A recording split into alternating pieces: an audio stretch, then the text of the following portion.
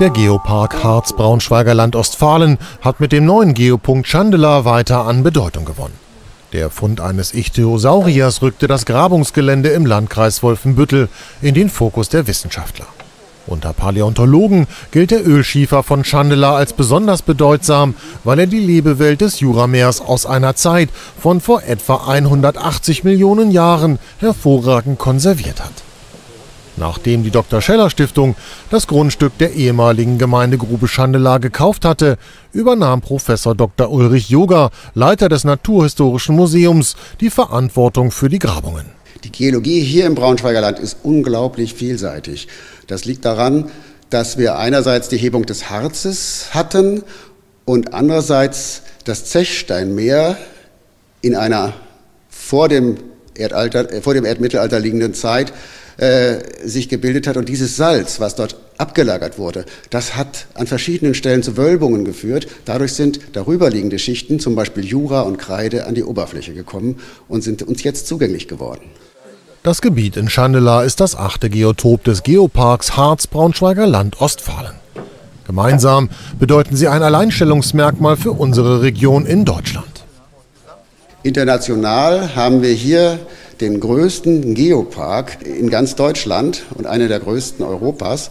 Und der Geopark umfasst zu einem Großteil das Braunschweiger Land. Das Braunschweiger Land ist hier also in der Pflicht sozusagen der Welt zu zeigen, wie vielfältig die Geologie ist. Man sagt sogar auch in internationalen Fachpublikationen, das ist hier die Quadratmeile der Geologie.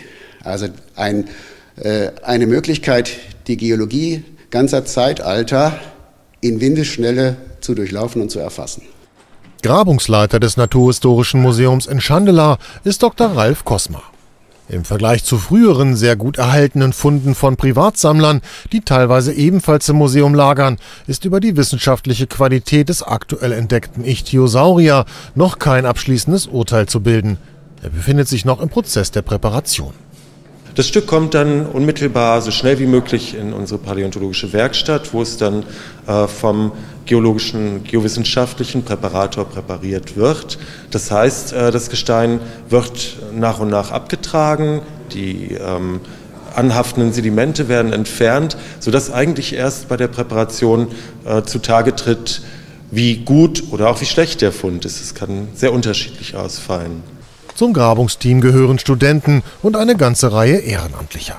Ihre Chancen, weitere bedeutende Fossilien wie den Ichthyosaurier zu entdecken, sind groß. Ja, dieser Ort ist für uns äh, besonders bedeutsam, weil hier auf einem ganz schmalen Streifen von nur wenigen Zehnermetern die Schichten oberirdisch äh, zutage treten, äh, auf die wir scharf sind letztendlich, die wir unter die Lupe nehmen wollen, wo wir die Fossilien drin finden.